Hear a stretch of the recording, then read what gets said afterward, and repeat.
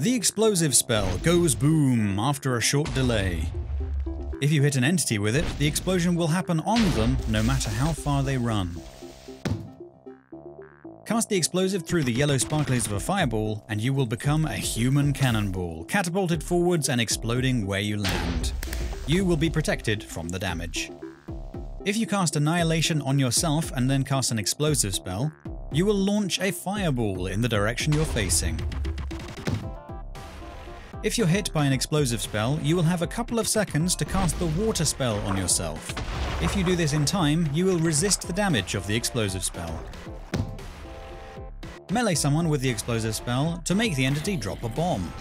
Be aware, the mob may continue walking out of the detonation radius. In most cases, the explosive spell will kill a mob in one shot.